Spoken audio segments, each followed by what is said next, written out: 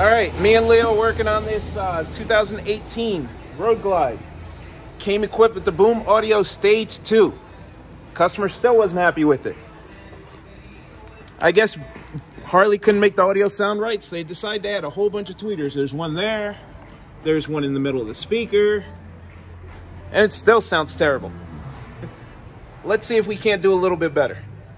Okay, I think this is going to be a little bit of an upgrade. There we have our Diamond Audio tweeter versus the Boom Audio tweeter. We're not going to need the secondary tweeter that they had because the Diamond's going to have more output and better frequency response than both these added together. Our Ground Zero Red basket is definitely going to outperform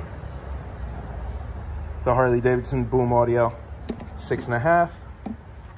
And this is the factory Boom Audio 300 watt amplifier that we're going to replace with the Sound Digital 800.4. So we got 800 watts in this beautiful small package, and it's literally almost half the size of the Boom Audio. It's going to go in the same factory location as the Boom amp. Boom amp went under here.